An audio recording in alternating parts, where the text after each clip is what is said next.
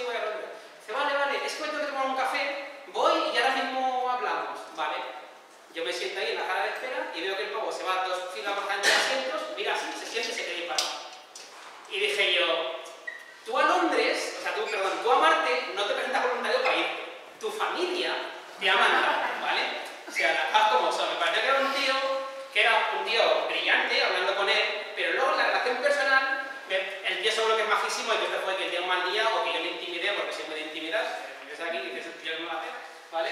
Entonces yo qué sé, ¿no? En Netflix, a ese tipo de gente, no a él, ¿vale? no diré nombres, el, el tío este le llaman un, un capullo brillante. El típico tío que es súper bueno técnicamente, pero que te destruye la dinámica de un equipo. Y eso es una opción que puedes encontrar a la hora de trabajar en un equipo, ¿no? Sobre todo si el capullo sois vosotros, ¿vale? O vosotros. Eh, hablando de Marte, hubo otra misión bastante chula en el 98, 99, por ahí, mala, sin intentar explotó.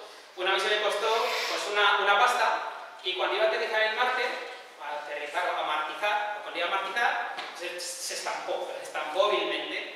Por un detallito de que había ingenieros americanos ingenieros británicos en el proyecto, los unos cuentan en centímetros, los otros en pulgadas. Eh, no se dieron cuenta y el, el trasto se estampó. ¿Vale? Mal rollo. Entonces, hombre, ese programa de malentendido ahí entre la gente del equipo también va a ser malo, ¿no? Espero que esto es una anécdota, no pasará tanto.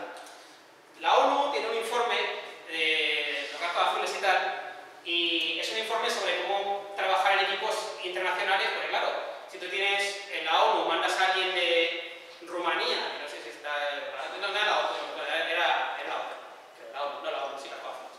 Tú mandas a alguien de Rumanía y de Estados Unidos y trabajar en el mismo ejército, dos personas con un background tan distinto, es complicado, ¿no? Y una cosa que decían era eso, con una misión, los americanos no entendían a los ingleses y usaban a los canadienses para traducirse de unos a otros.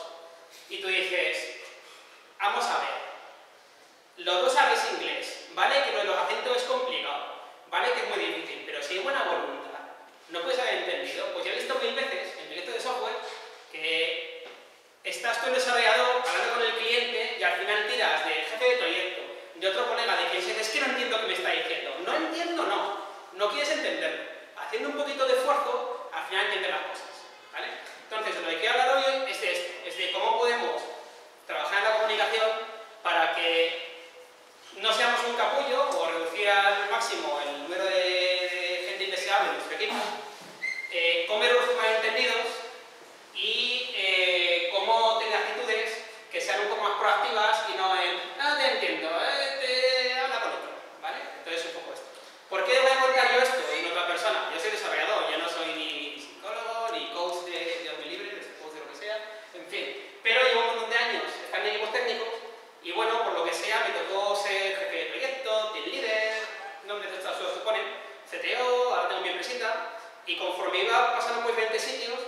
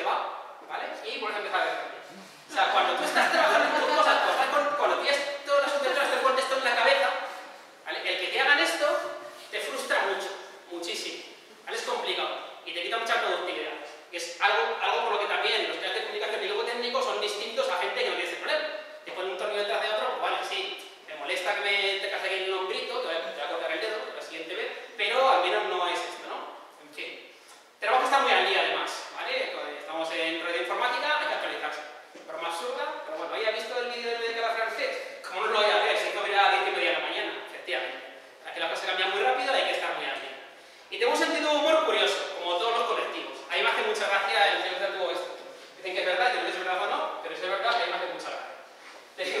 No, no, sé qué tal será ese, pero bueno, este me, me hace gracia. El problema de humor que tenemos es que, yo una cosa que también he notado, es que tenemos un humor con una pizca mala leche bastante grande ahí. Nos cuesta muy poquito tirar ahí a... O sea, delicados no somos cuando hacemos las bromas, ¿vale?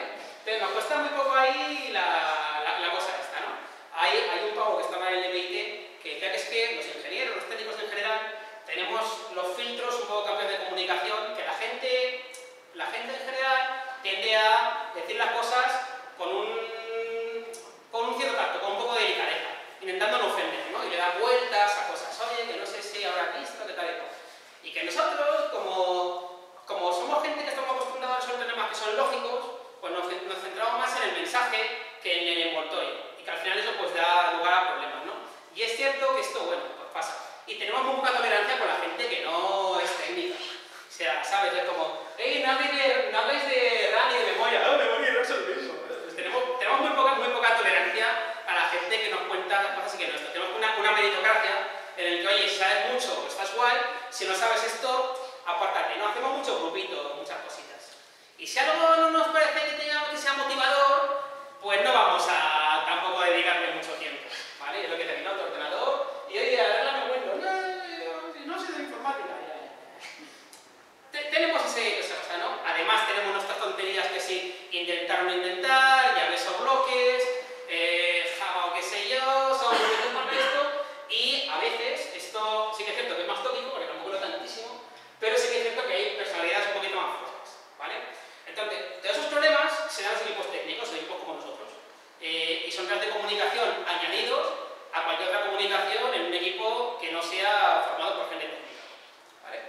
Entonces, lo que voy a contar hoy es, eh, por un lado, cómo esta- estas empresas están organizando sus equipos y luego, por otro lado, con los truquitos que a mí me gusta usar cuando estoy en un equipo para facilitar la comunicación.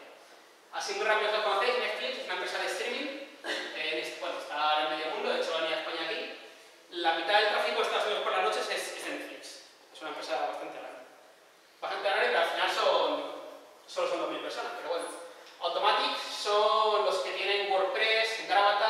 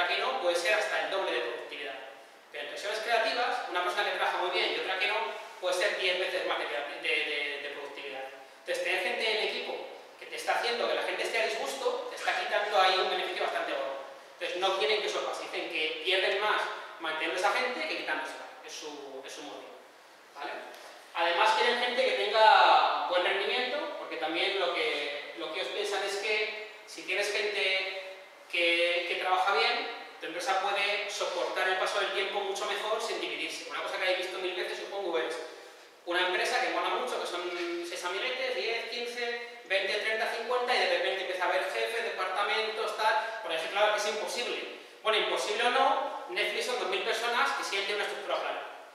Porque lo que hacen ellos es contratan gente, le dan mucha responsabilidad y le dan mucha libertad a la gente, es gente que trabaja muy bien y lo que intentan es, mira, yo te voy a dar contexto para que hagas las cosas y tú te apañas, ¿vale? Os organizan entre vosotros. Y entre gente que es capaz de hacer eso, bueno, pues es más fácil poder hacer eso. Entonces, poder generar el clima este funciona, funciona mejor. Eh, piensan que, que lo que trabaja es muy relevante, que lo relevante es cuánto trabajo sacas. Si lo hacen en 6 horas, en 8, en 15 o en 2, me da igual.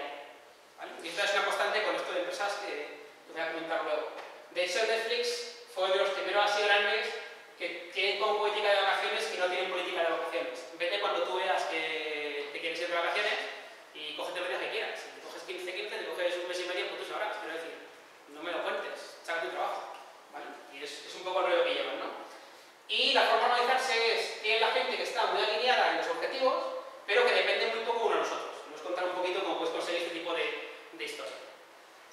Eh, una cosa que también me gusta mucho en Netflix es que dicen que tener un trabajo súper chulo no es que tu oficina mole un montón, de hecho está mal un montón, pero no es que tu oficina mole un montón, que tenga masaje gratis, que te den de comer y tal. Que lo que al final más hace que la gente se quede en su curro es tener compañeros de trabajo que sean espectaculares. Y eso yo consistentemente también lo he visto. Cuando me ha costado mucho irme de una empresa, no ha sido porque me pagasen bien, ni ha sido, pues me pago muy bien, yo qué sé, pero no ha sido porque, de hecho Netflix otra cosa que dice es que a la gente le tiene que pagar muy bien, y de hecho pagan más que el mercado, porque lo que dicen que la mejor compensación es pagar bien, ¿no? Pero bueno, eso aparte. Que el mejor, el mejor espacio de trabajo es tener gente que sea, que sea bastante buena. Entonces tienes que intentar rodearte un poco de, del rollo este. Y lo que os decía, ¿no? Que en vez de contar a la gente le dan un contexto. Le cuentan por qué está haciendo las cosas, dónde tienes que tirar, y a partir aquí, pues tira para eso. ¿Vale? Eh, en Google tiene un rollo un poco parecido. En Google de sus ingenieros como gente inteligente creativa, smart creators. Que es gente que sabe de ingeniería, pero que tiene intereses también en otras áreas.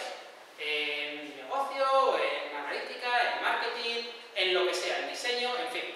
Gente que tiene diferentes, diferentes. ¿Vale? No suele usar títulos, por ejemplo Google tiene gente con ingeniero, pero no, no, no acotan mucho, porque si no acotas mucho, es más fácil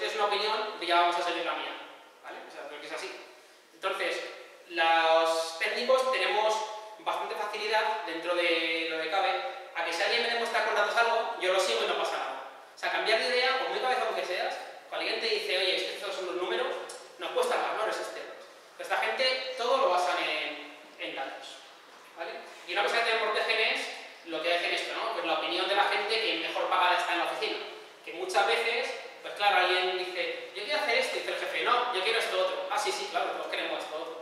Bueno, pues ya tienes un mecanismo para que la opinión de todo el mundo se pueda contar por igual, que sea independiente de quién venga, ¿no? Que, hay que valorar la idea y no quién dice la idea. Esa que está cuesta mucho, sobre todo cuando tienes menos experiencia en un equipo, pero hay que hacer eso.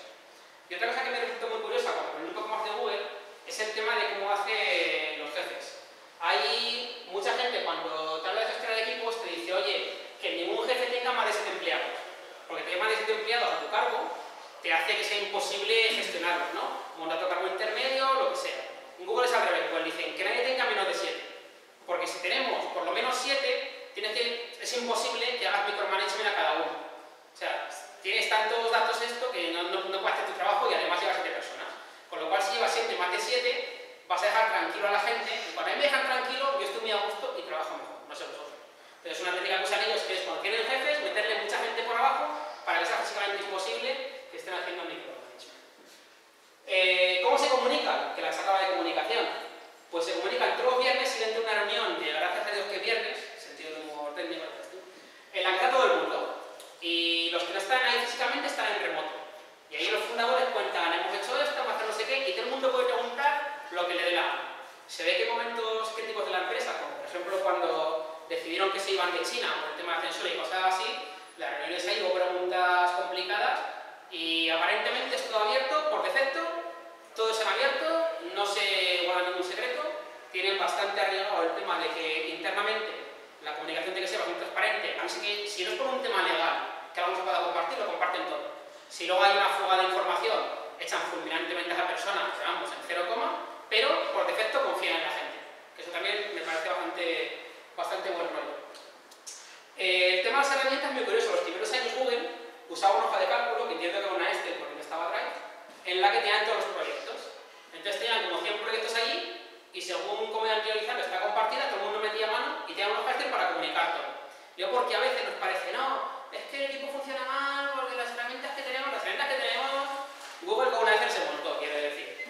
Es importante tener buenas herramientas, pero por muy buenas que tengan las herramientas, si los procesos de comunicación no funcionan, no va, no va, a funcionar el equipo mejor porque cambies a un mejor o cambies a, a cualquier otra cosa. O sea, primero ten la actitud correcta y luego ya mejorarás por el, por el otro lado. Eh, una cosa que también me gusta bastante es usar lo que se llaman snippets, que son eh, cada lunes directamente entregas un documento super cutre, bueno, entregas, lo colgas en el intranet, un documento cutre en el que dice, esta semana he hecho esto y voy a hacer esto otro, nada más. No tiene que ser bonito, no tiene que estar formateado, simplemente cuentas lo que has estado haciendo. Y usa una técnica de gestión que se llama el OKR, los objetivos y resultados clave, que esto no, es suya, es de otra, no acuerdo cómo se llama el tío que inventó, pero bueno, es una técnica de gestión de empresa, que esto lo que haces es, tú eh, tienes que escribir tus objetivos, y lo escribes tú, lo que tu jefe, de lo que va a hacer en los siguientes tres meses, seis meses, un año, el plazo que, que manejes. Y te pones, mira, voy a hacer esto. Y luego vas poniendo lo que, lo que realmente has hecho. Y tienen Google, desde que empezaron a usar OKRs, que como un año o dos después de empezar la empresa, tienen absolutamente lo que todo el mundo ha ido planteándose, en qué estado estaba, de toda la empresa. Tú puedes decir, oye, ¿qué ha hecho el Larry, qué estaba haciendo el año pasado? De ahí lo ves. Entonces, ¿sabes? Tiene el clima este de tú puedes ver esto. Entonces, es muy bueno ver el avance de la gente y en qué estado ocupado y ver el background de un compañero tuyo, que eso es más importante, ¿no?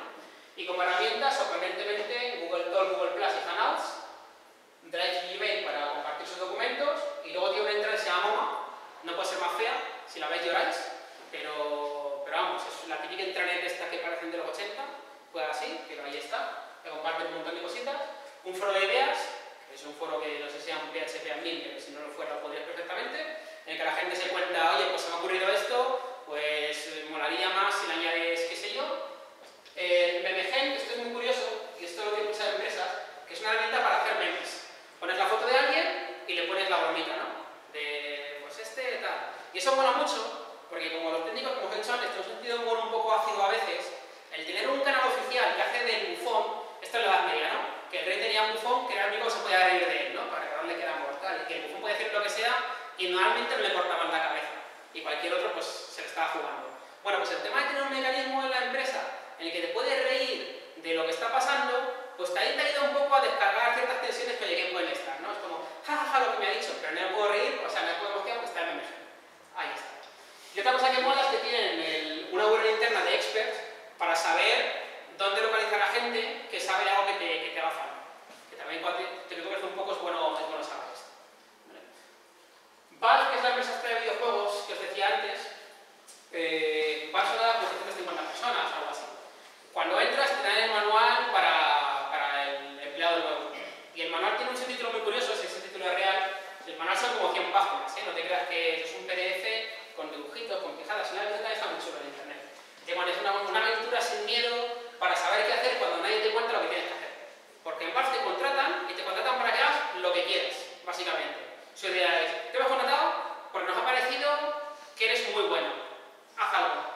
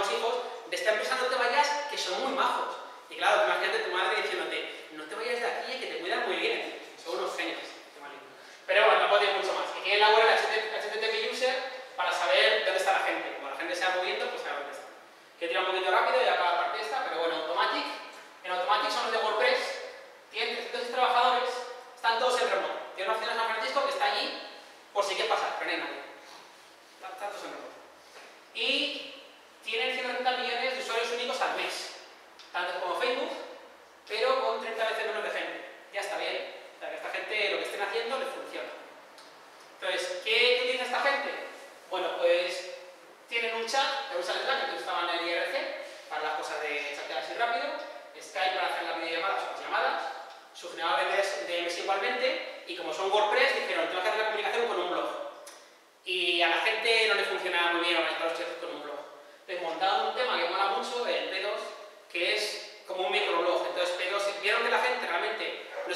en sus trabajadores, pero están todo el día en Twitter. Y dijeron, hacemos un tema que parezca que es Twitter, este es una cajita pequeña, cada vez que algo es un post en realidad, con luego comentarios de discusiones, entonces se gestionan toda la comunicación que tiene que durar el tiempo, lo mueven aquí, lo chapan aquí y con esto bastante felices. Tienen que tener cuatro viajes al año para juntarse la gente, hacer equipo y tal y cual, y cuando se juntan para hacer cosas lúdicas, que es carrerita de 5 kilómetros, que te la hacer incluso aunque estén en remoto, un par de días al año y dicen, oye, hacemos la carrera de 5 kilómetros. Y la gente, hombre, os imagino que se juntan los que estén cerca, pues van a correr todos juntos, ¿no? Para la cosa de hacer equipo. A mí el tema de hacer equipo, fíjate que nunca me ha gustado mucho, la dinámica de grupo. O sea, si a, cuando he visto que hacéis de estas, hacerlas voluntarias creo que es mejor que hacerlas obligatorias. De hecho, en un libro que escribí hace poco, decían los directivos de Google que ellos nunca han visto que a la gente le guste nada menos que una dinámica de grupo más que el amigo invisible. Dice, mira, lo, lo único que peor de una dinámica de grupo es el amigo invisible. No hay, nada que sea más miserable que esto. Pero bueno, se ve que la gente está en remoto, tener dinámicas a las que te puedes apuntar, pues tienen su... sería que el amigo invisible triunfa bien. Eh, tampoco tienen en cuenta los que trabajan, ¿vale? Y hacen cientos de euros al día. Y me parece curioso que son 300 personas. Ya son. Entonces tienen una infraestructura que les permite hacer esto, ¿no? Y lo que más me gusta de esta gente, pero lo que más con diferencia, es que cuando vas a trabajar, para el puesto que vengas, tus primeras tres semanas estás en Customer Service. Atención al cliente tres semanas. Que veas lo que es sufrir. Que veas lo que es importante de la empresa. Que veas de qué se quejan los clientes. Y luego, cuando te pongas a resolver problemas, me vienes con la tontería, es que estoy haciendo esto porque no sé qué. Tú piensas en las tres semanas que pasaste ahí. A mí me parece, o sea, yo creo que en Guantánamo esto se lo hace en triunfo. Pero en serio que me, pareció súper interesante eh, el proceso este de meterte tres semanas en la parte de, de, de y del cliente. Genio del mal, de verdad. Basecamp, no me que tengo, lo voy a gastar con mis consejos. Basecamp, eh, la mayoría de gente está en remoto. De hecho, sí, la mayoría, dos tercios de la empresa trabajan en remoto. Y el resto de gente que no está en remoto está en Chicago, pero tampoco trabajan todo el día en la oficina. Está medio en su casa, medio en no sé dónde. De hecho, el Basecamp, uno de los socios, el que se inventó Red, vive en Marbella nuevamente y se va y se viene para Chicago, en fin, a sus cositas. Trabajan cuatro días a la semana y eh, cuando hablan del trabajo en remoto, sí que es cierto que dicen que trabajar en remoto tiene algunas cosas que no son ideales y que hay, cosas en las que pierdes, pero que recompensa más por todo lo que ganas. Pero, por ejemplo, lo que, decía Google, de que estamos en la oficina y se nos ocurren ideas geniales, dicen ellos, sí, se nos ocurren ideas geniales, pero somos 50 personas. ¿Cuántas ideas geniales podemos implementar 50 personas? Si es que no pueden. Si es que Google, son, Google tiene 50.000 empleados, de los que casi la mitad son ingenieros. Claro, cuando tienes 25.000 ingenieros, ya te da bien tener ideas geniales y tener lo que sea, ¿sabes? Pero cuando tienes 50 personas en la empresa, contando soporte, contando tal, no, no te puedes permitir implementarlo todo. Entonces dicen que sí, que vale, que estar juntos, seguro que se nos ocurrían mil cosas, pero es que no podemos hacerlas, así que ¿qué más te da? Entonces lo que dicen es, aprovechamos cuando nos juntamos de vez en cuando, nos contamos las ideas geniales en esos días que estamos juntos y luego para casa a trabajar. Y ya me parece que tiene sentido, tanto lo que dice Google como lo que dice esta gente. Oye, que es verdad que pierdes cosas, no seamos ingenuos, pero sabes que no es como motivo, ¿no? Su proceso, pues eso, tiene unas horas comunes, como esta gente en diferentes partes del mundo, mantiene unas horas comunes para que todo el mundo al menos tenga un par de horitas tres donde están todos a la vez, el resto del tiempo no. Cuando trabajas en remoto, recordad que si eres un jefe, que esto no es una guardería, que no te quedes la actitud de, oye, estoy trabajando en remoto, mis trabajadores me estarán trabajando o estarán allí en casa comiendo mantequilla de cacahuete del frigorífico todo el día, yo qué sé, si cacahuete no es más Pero bueno, en fin, que no es una guardería, ¿vale? E intenta crecer reuniones al máximo. Ellos llaman las reuniones máquinas de perder el tiempo. Efectivamente, pues ya, ya tienen razón, no es lo que puedan. Documenta que has estado trabajando para que la gente pueda ver dónde estás y para que tú puedas también darte cuenta de lo que estás haciendo. Y hace muchas llamadas de uno a uno, justamente por eso, ¿no? Como se ve un poquito, para compensar la, la parte esa. Eh, sus herramientas, pues bueno, Basecamp para gestionar proyectos, GitHub y una herramienta suya que tenían de CRM, pero bueno, usan Salesforce la otra, Dropbox para ficheros, Campfire es un chat también suyo, calendarios. Lo que parece interesante es que os explican, esto es obvio, pero mucha gente no lo pilla, que si hay algo que corre prisa, mandas un mail. Si hay algo que más o menos te hace falta en un momento, me mandas un mensaje instantáneo. Y solo me llamas si se me está quemando la casa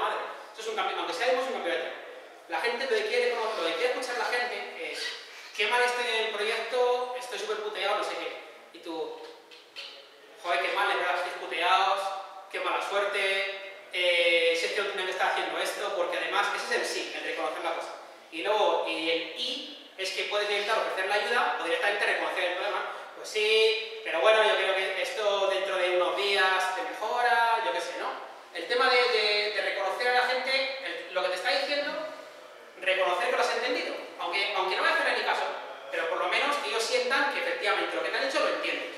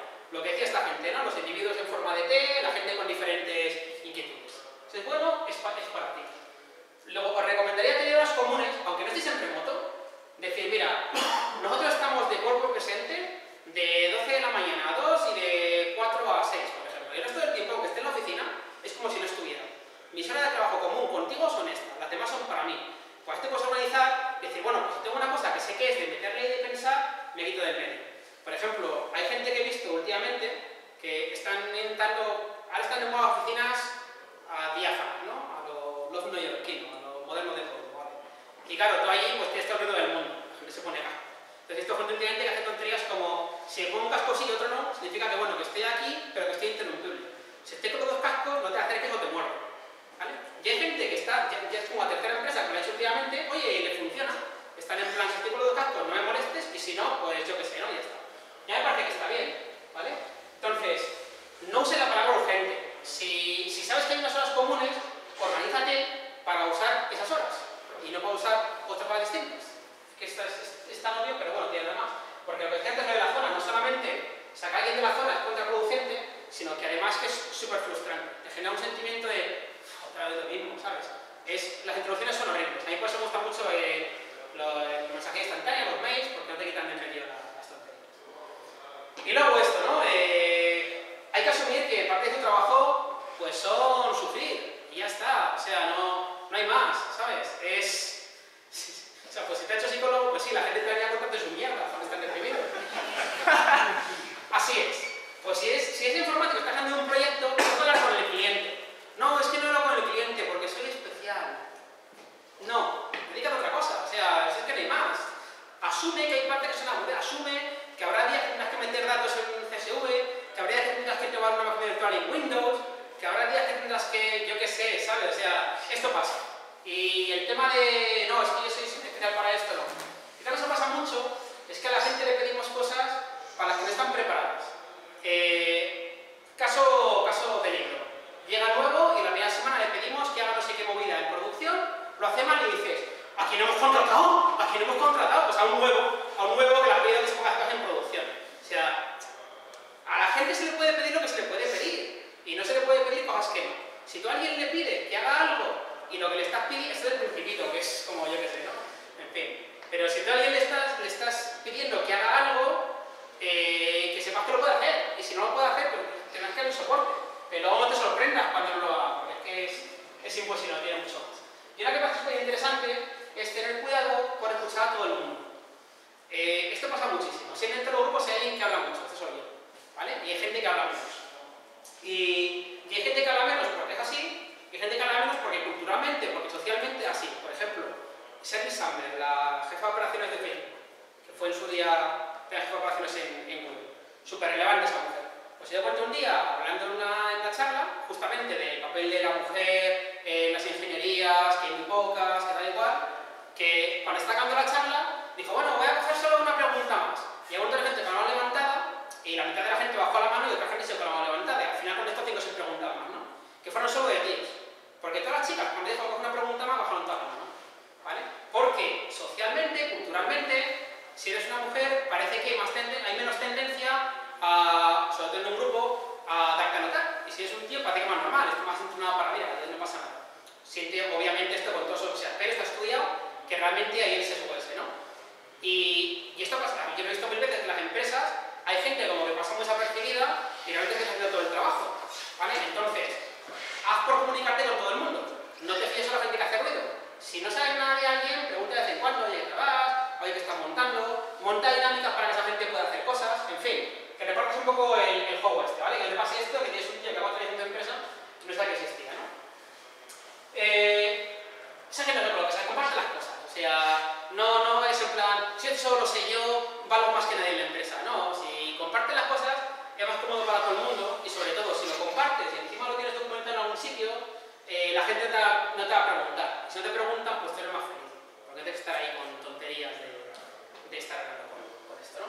Y también si puedes invertir tiempo en que la gente eh, prepara documentación para que la gente que entra nueva a tu equipo se pueda, eh, se pueda adaptar rápido, pues mejor que mejor.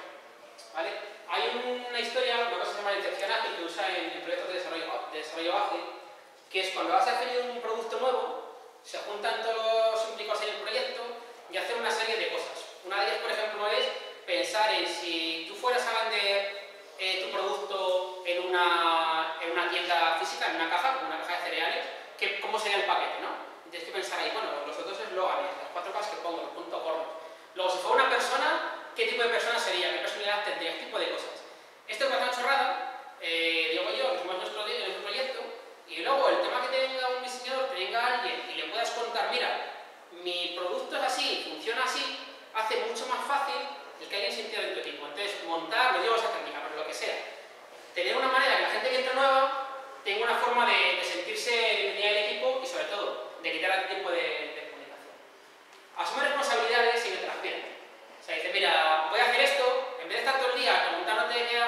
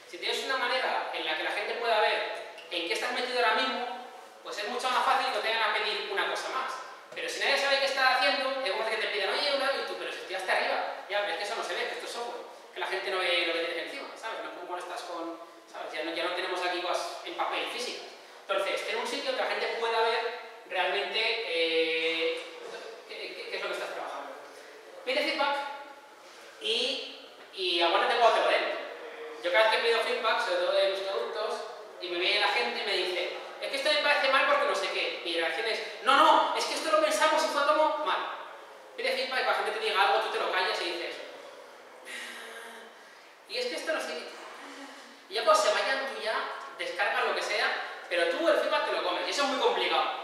Pero es que si no la gente no te va a dar feedback de ninguna manera. Y si tú no sabes lo que está haciendo bien lo que está haciendo mal, en tu cabeza tú siempre haces las cosas bien. Eso por lo siempre funciona, no funciona bien. Y cuando algo no funciona bien y te das cuenta, pues pides perdón. Tampoco en plan, oh, soy un humilde gusano, tal. Tampoco, eh, la dramática es informática. Pero si alguien por algo que has hecho tú has cagado, pues pides perdón. Ya está cagado. No se va a poder arreglar. Oye, mira, es que ayer perdimos no sé cuántos millones porque no se pudo dar a la gente y yo qué sé. Parece bien, vale, mal, culpa mía. No te lo voy a devolver, ¿vale? Pero sí, de hacerlo mejor. Por lo menos sabes. Y si haces esto activamente, encima, sin que nadie se haya dado cuenta, has cagado y lo avisas, mucho mejor. Porque la gente entonces se fía de ti.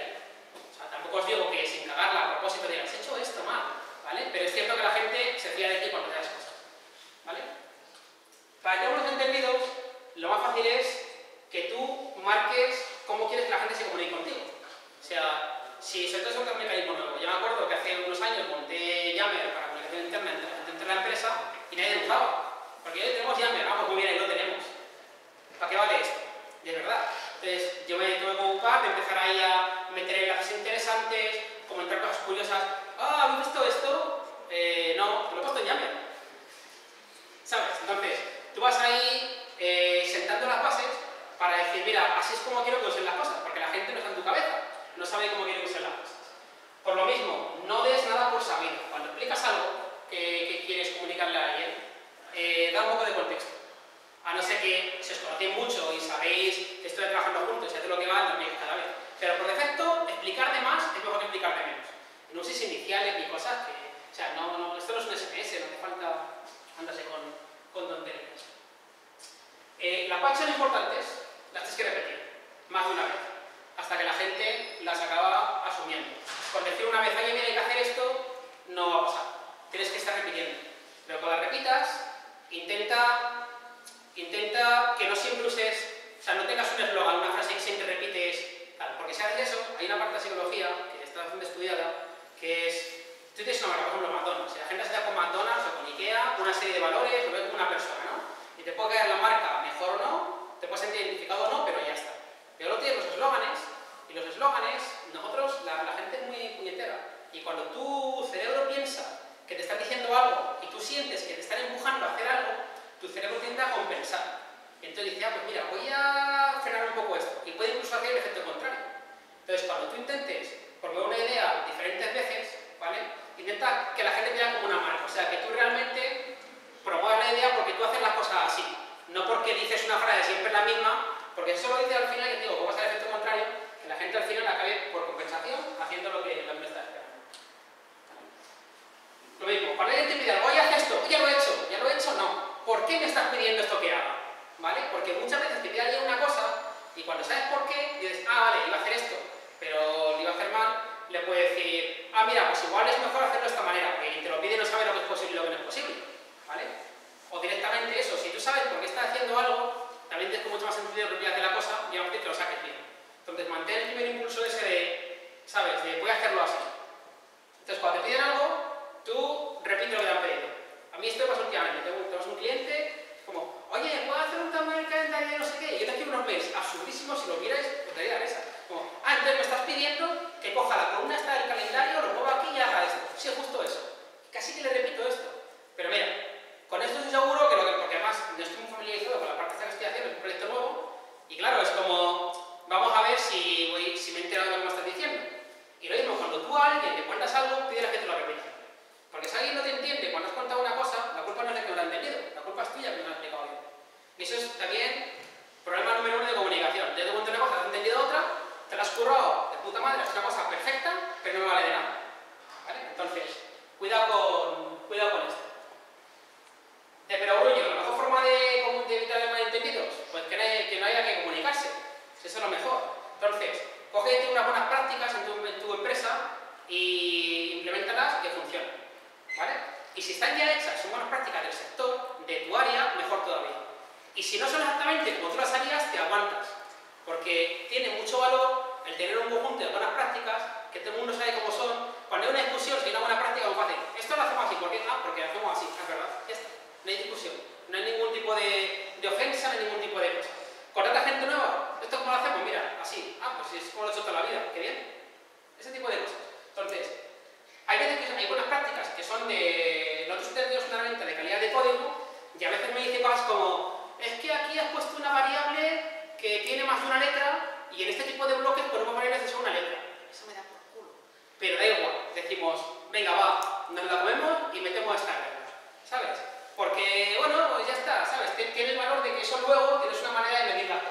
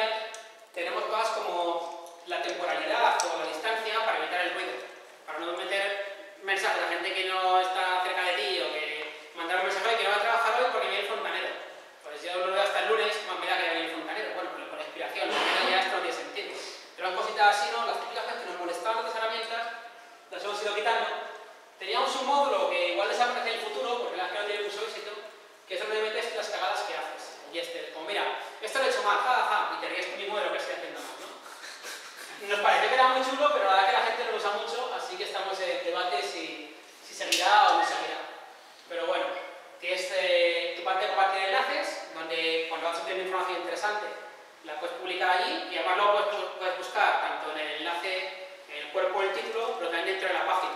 O sea, la página que enlaza la indexamos también, porque a veces me pasa que me acuerdo de esta página que iba de no sé qué, pero claro, ¿cómo encontrar el título este? Bueno, pues aquí puedo buscar también el contenido, ¿no? Que está curioso.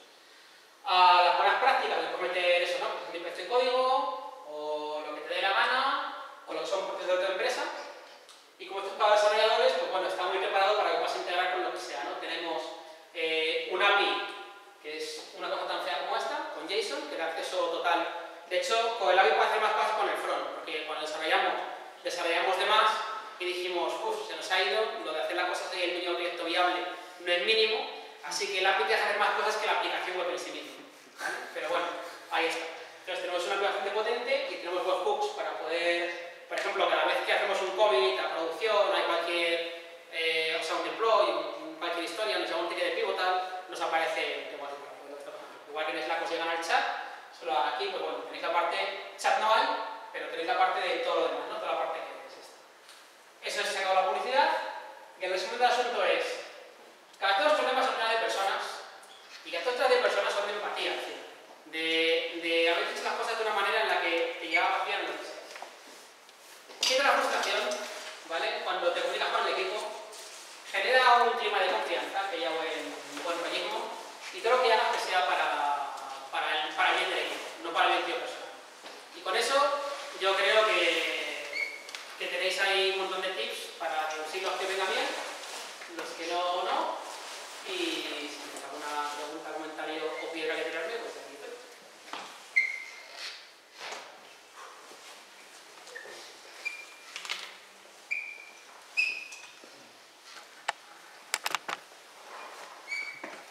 Sí, dime. Algunos tip- tips que creo que son más de equipo que de jefe de equipo, eh, hablas de que, de que mejor decir que sí, bueno, de equipo, incluso entre equipos, Sí, mejor sí, dicho. sí. Mejor decir que sí que decir que no, o decir que sí, pero... Eso me genera dudas, sobre todo en el entorno en el que me muevo yo, de si en realidad lo que estás haciendo es crearte tu mala fama de que nunca vas a hacer algo de lo que te has propuesto. O sea, eh, a veces yo creo que es mejor la sinceridad de decir, mira, no, esto no encaja por ningún sitio de lo que me estás pidiendo, es mejor que lo encajemos, que decir que sí y luego nunca encajarlo. Porque pasa también que luego te dicen, pero es que tú me dijiste que sí y no lo has hecho. Vale. Es difícil, quiero decir, es difícil, no sé cuánta, qué porcentaje hay aquí de gente de sistemas, pero cuando eres de, de sistemas, que es al final el que cae todo al final, si tú dices que sí, es sí, porque hay todos los equipos hacia arriba que te están diciendo, tú dijiste que sí. Vale, sí, no, no es tanto, no es tanto el decir sí, es tanto el no soltar de entrada un, un no y va a ser que no y no te lo hago. Es más de entrada el decir, hay que hacer esto. Bueno, cuéntame más que lo que te falta, vamos a ver cómo va la cosa. Es el tema de no, no generar el clima de que cuando te piden algo, de entrada es un no sin más, ¿vale? Es más, eh, no que ser un sí, puede ser, bueno, espera, eh, lo que me estás contando, lo que te decía antes, ¿no? Cuando te piden algo, puedes hacer el tema de decirle que no, repetirle, oye, lo que me estás contando es esto tal y cual, y dices sí. Entonces le cuentas, mira, pues hacer esto, ¿vale? Nos implicaría tal, tal, tal, tal, y realmente, pues ahora mismo no nos encaja por cualquier historia. Pero ya no ha sido un, ¿me haces esto? No te lo hago, ¿sabes?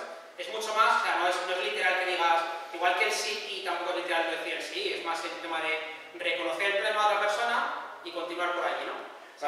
Yo entiendo y es, Sí, sí. y es perfecto, Sí, es la actitud positiva y estoy más que de acuerdo con ella, ojalá pudiera yo llevarla. Eh, pero yo hablo más de, de la de lo que supone el ser un tipo de equipo y lo que supone ser otro. O sea que hay veces en los que tu objetivo es hacer el trabajo que otro te manda y hay veces en las que tú no puedes decir, o sea, no puedes llevar una actitud positiva, sino que tienes que decir, mira, no, esto no puede salir porque Sí. no hay, no hay opciones de que salga. O sea, Sí, que yo prefiero un poco la No, no, sinceridad. si, no pasa nada por decir que no. O sea, si, decir que no, no pasa nada. Es mejor decir que sí. Ahora, si hay que decir que no, se dice. Yo ahí estoy tan de ¿sabes? Es como, de entrada, es como, esto, esto mucha gente lo llama la política del sí por defecto, ¿vale? Que no es el tema de, no se puede decir que no, es el tema de, vale, de entrada voy a decir que sí, siempre, ¿vale? Y, y cuando tú te das cuenta que muchas veces cosas que dirías que no, ¿vale? Realmente, cuando empiezas a darles una vuelta, porque sí que pasa que te piden cosas y igual no se puede hacer, pero en cuanto le das una vuelta se puede hacer algo que no es lo que te pedían, pero es una cosa que ya tiene su valor. En cuanto dices que no, ya es mucho más complicado encontrar soluciones. Si lo que tú dices es un no directamente, eso es iniciar una conversación, pero a dónde vas, ¿vale? Puedes acabar en un no y lo que te digo, no pasa nada, ¿sabes? Obviamente, eso no, al final es como, sé cuánto, valor de la honestidad, ¿no? Que quede claro, entonces como una fuerza imparable contra un poder indestructible, pues elige tu muerte, ¿no? Ahí no tienes... Entonces ahora veces sabes que estos son, estos son guías, al final es, es el tema este, ¿no? Es el tema de, de que tú generes un ambiente en el que la gente esté más a gusto y en el que tú también, cuando alguien le hace algo, tampoco te has que andar con tanto cuidado muchas veces de a ver cómo pregunto esto porque me van a decir qué, ¿sabes? No es tampoco mucho más que eso. Sí, sí, a- básicamente lo que iba es que hay que implementar cosas antes de poder hacer esto, porque si no es casi Sí, sí. inútil, pero sí, para Sí, sí, no, pero sí, vamos, el que no es totalmente, totalmente válido, ¿eh? O sea, eso es una cosa que, que hay que decirlo muchas veces. Yo creo que eso es más una, la, comunicar a la persona una actitud de que al menos lo vas a intentar. Y pones tu, tu, tu, tu intención de que sí, lo voy, a- lo, lo voy a intentar, lo miro. Y luego le dices que no, es lo que dice él. O sea, al final te pasa, aunque sean 10 minutos, media hora o un día, y él dices, "Oye, mira, es que, chico, esto es que no más que nada dar al, comunicar que eh, tu actitud positiva de que al menos lo vas a intentar y estás haciendo caso, porque si además le dices que no, ya va a decir También te digo, uno de los pagos que decías tú que últimamente era justamente uno de Google, del sí por defecto, y hacía, con mi hijo de 4 años no tengo actitud de sí por defecto. Le digo que no, le digo que no. Es como que todo tiene un límite y un momento, ¿sabes? Al final es, es como, con ese tipo de cosas generas mejor clima. Ahora, y la lo mismo. Si normalmente estás, oye sí, oye sí, oye sí, y vez que no, no pasa nada. Si es siempre no, no, no, no, no, no, ahí es más complicado. Por ejemplo, esto de, del sí y vale mucho para eso. Más que el de no nunca que no. El tema es intentar decir algo y quedar por allí. Ese sí que a mí al menos me valió para eso y otra gente que, que he visto que, que la gente del teatro de Impulse ahora hay una, como una cierta tendencia, moda, a que la contratan en empresas para dinámicas de equipo, ¿no? Y justamente es lo que más te hace, que tú puedas realmente, que tú te des cuenta de la cantidad de veces al día que hubieras dicho que no a algo, cuando realmente había una solución que, oye, que funcionaba bien, ¿sabes? Y que, y que, y que decir que no, después de haber tenido una, esa pequeña conversación de, me entiendo que me estás pidiendo tal y cual, ¿sabes? A la persona que le dices el no después de ese intercambio, le sabe mucho menos fuerte que un no así de entrada. Sí, pero una, si pasan luego unas horas o un día y tú le has dicho algo a un compañero, compañero Sí. mano a mano, quiero amigo, o a tu jefe, o tu jefe a ti, y le dices sí y ta, ta, ta, ta, ta, y luego ves que no, la decepción es mucho mayor, en mi opinión, con la gente con la que yo trabajo. Obviamente, obviamente no digas que sí, obviamente, ¿sabes? Si tú, crees que no, Claro. lo que vamos a decirle, mira, eh, me da a mí, a mí que esto no se puede hacer. Pero si por, la sensación de tangada, de decir, mira, tú me estás, me estás manipulando. Y en el entorno sé que es un freelance por horas, tampoco quiere decir que te lo miro y luego facturas unas horas que como al final ha sido que no, es como... ¿Sabes? Usualmente lo que